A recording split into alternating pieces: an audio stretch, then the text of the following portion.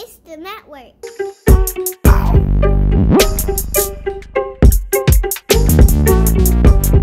I just dropped a song today.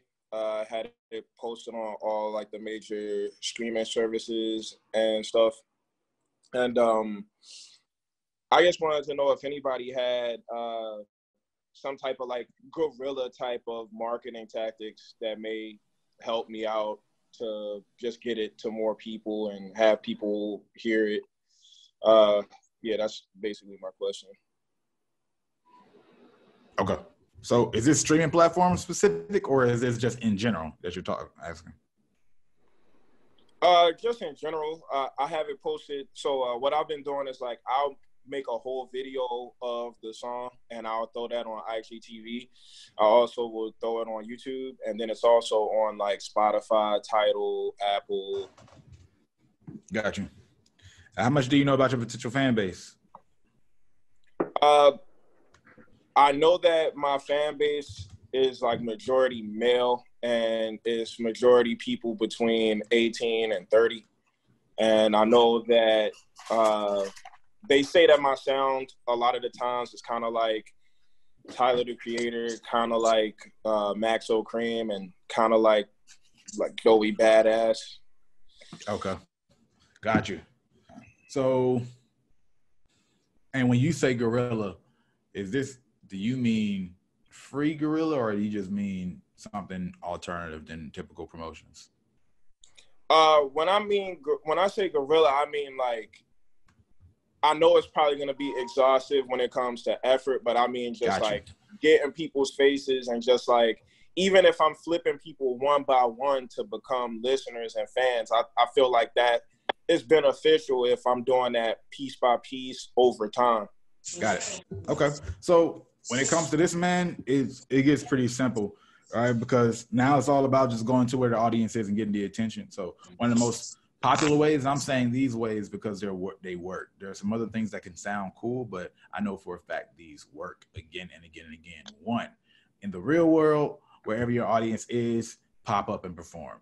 How can you do that? One of the cool, cool ways to do it, the easiest ways to do it is wait till the artist or a similar artist is in town and you either open for them or you either pop up at the uh, outside the concert and do a little pop up in the um in the parking lot or whatever. Like I've known people who, you know, pulled up, popped out of the U-Haul and perform. There's all kind of things you can do around that. Like, but just going to where they are in the real world, pop up on them, you don't necessarily need permission. Just make it as cool as possible, especially if you think you're going to have a more Tyler type audience um, or somewhere in that pocket of things, right, where they appreciate creativity and a little bit of rebel, rebellion. Then definitely um, utilize something like that. Real world, something a little bit more scalable because you, that means you don't have to wait for those type of occurrences and congregations to happen. Is going to these people's pages, all right, as simple as that. Going to these people's pages, when I mean Tyler, I mean Tyler's main page. Know, Tyler's too big right now to go to his page, um, but like his his fan page, right, or some Maxo's fan page, whichever one of these people you feel like would be similar audiences, go straight to their followers and hit them up individually again and again. Hey, I see you you rock with Tyler the Creator. Um, he, he's a he's a dope inspiration of mine. Can you check out 30 seconds of this song? Let me know how you like it. If it's trash, I understand whoop, whoop, whoop, whoop. Like I, I have no problem. asked him that, and everything I said was intentional. Right, one showing that this is how I found you, and this is where I like, and I relate to Tyler. Give him a little intrigue there. The 30 seconds is a, a serious thing because it does give them a small commitment, right? Give people small small commitments, and they're more likely going to listen to more than 30 seconds of the song, right? That's enough for them to get a vibe. If they like it at the beginning, and they'll probably continue to listen, right? They're not going to be doing a little stopwatch um, for most people. So once you get them listening, and then also the, you know, whether it's trash or not, just let me know how, how it is. That portion of it is intentional because you need to take any of the awkwardness that comes from people saying that I don't like this shit away, right? Because people don't want to say something bad to people that they don't know most times, right? They, so they rather just avoid the whole interaction in the first place. So do those things and you do that at scale. And that's easier to do at scale than, like I said, popping up at concerts and some of these other things. Cause all you just have to do is take the time. It's manual, like what you ask for, but you have a lot of numbers to work. So you could be doing that for the rest of the year with pretty much any any artist that you think makes sense for you fan base wise. Now, uh follow up question on that. Um have you noticed it to be the most successful doing that via DM or Instagram yes. comment? DM. And these people will answer these DMs from people they don't know just because they probably don't get DMs often, is what you're saying. A lot of these people, a lot of these people aren't, you know, out there popping or even living, trying to do the whole I'm cool on social uh, Instagram type life.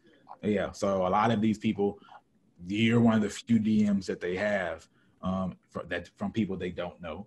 Um, and two, it's a numbers game. There's going to be a lot of DMs that don't get answered. Some of them will be, because they're like, no, like if this a random rapper person, I don't want to be talked to. Some people will just not check their DMs and they just don't know what's happening, right? Or some people will forget. Like it's a, all of it is a funnel, just like any portion of marketing, right? You start with the top, and then some people will actually see it, right? And then some people will actually respond, and then some people will actually listen, and some people will actually listen and give feedback that's a part of the manual process but it'll be doing it in that way the the steps that i talked about are going to be the steps that help increase the conversion of people. Got you. Thank you. For sure. I can piggyback off of that. Um, it does work when you dm them uh, i go by charlie k. I'm out of minneapolis. Um, just piggybacking off of what you just said, like does the does the DM work versus the comment? I actually use your method, Brand Man, where you just go into the DM and you just hit check DM capital letters. And uh, yeah, I'm not sure if y'all familiar with Alex Tumay, but that's um, Thug's engineer or used to be Thug's engineer. It actually worked. He actually did DM me back, and it, you know these people are real. Oh, you commented check DM. Yep.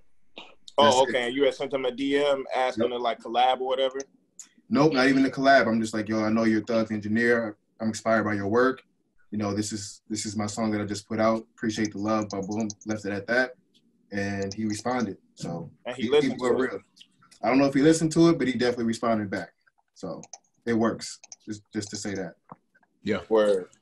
And what you won't want to do with most people though, um, in the beginning, most of the normal people, uh, is do the check DM thing at first they don't respond, then you go back with those people, right? But the people like him, like the more industry professionals and things like that, then yeah, definitely just start with the check DM out the gate. Yeah, got you. Because I knew I would never get to thug, so I'm like, I can get the closest to thug. So best way to do it.